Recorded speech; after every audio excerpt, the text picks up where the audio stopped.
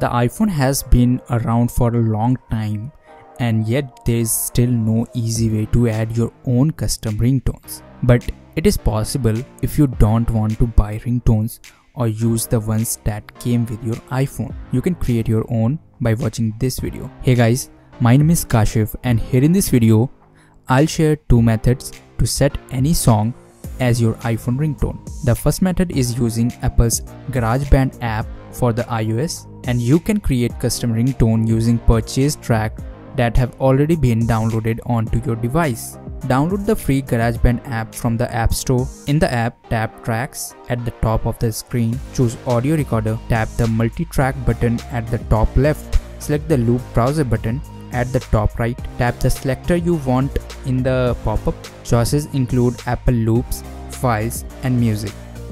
In this example, we are selecting Files.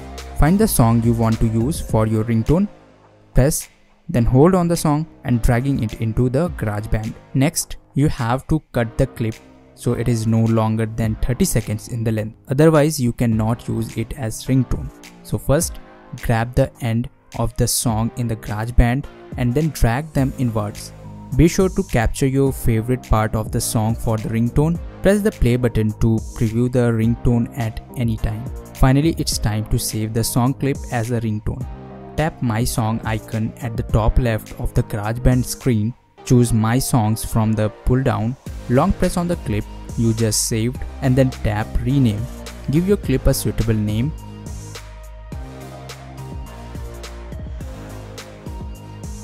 Tap Done. Long press on the clip. Once again, choose Share. Tap Export Choose OK on the ringtone export successful pop-up. Now you can choose your ringtone on your iPhone by tapping the settings app on your home screen. Then choose sounds and haptics.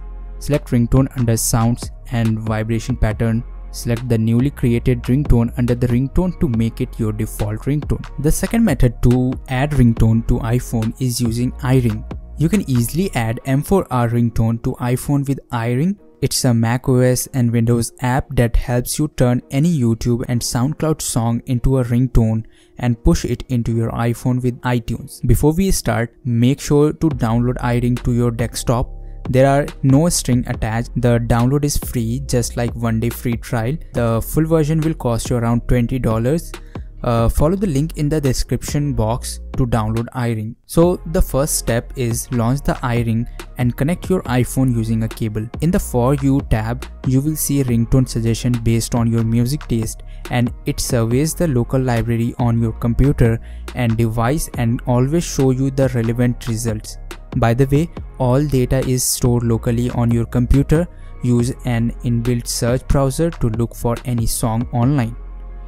Now second step is trim your ringtone and apply the emoji plus intro.